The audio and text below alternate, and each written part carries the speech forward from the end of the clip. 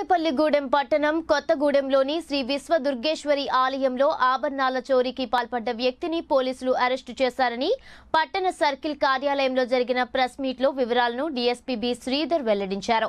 కొవ్వూరు విజయవాడ కనకదుర్గమ్మ ఆలయంలో చోరీకి పాల్పడిన జక్కంపూడి సాయిబాబాను జ్యుడిషియల్ కస్టడీకి తీసుకుని విచారించిన పోలీసులు నిందితుడి వద్ద నుంచి మూడు కాసులకు పైగా బంగారం ఆరు పాయింట్ ఆరు వందల రెండు కేజీల వెండి స్వాధీనం చేసుకున్నారు. ఈ కేసులో అత్యంత అత్యంత ప్రతిభ కనబరిచిన పట్టణ సిఐ ఆకుల రఘు ఎస్ఐ గురవయ్యలను కొవ్వూరు డీఎస్పీ బి శ్రీధర్ అభినందించారు. పశ్చిమ గోదావరి జిల్లా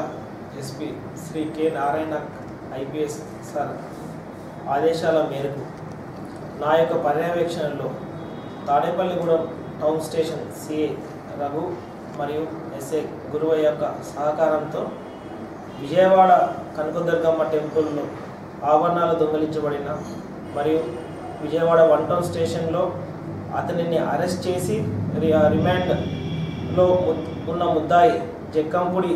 సాయిబాబా అలియాస్ జక్కంశెట్టి సాయిబాబా అలియాస్ సాయి ఆయన అతన్ని శ్రీ హానరబుల్ కోర్టులో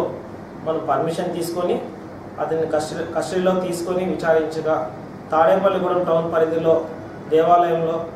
మరియు ఇతర ప్రదేశాల్లో చేసిన నేరాలపై మనం విచారించి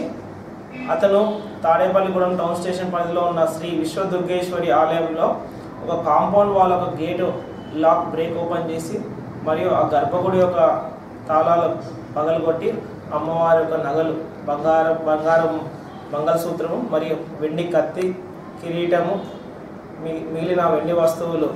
అక్కడ దొంగలించి భీమవరంలో ఉన్న బంగారు షాప్లో పెట్టారని చెప్పగా మన తాడేపల్లిగూడెం టౌన్ స్టేషన్ వాళ్ళు అక్కడికి వెళ్ళి ఈ ఇలా ఈ బంగారం మళ్ళీ వెండి వస్తువులు అక్కడి నుంచి రికవరీ చేసి మనం తీసుకున్నాం అన్నమాట.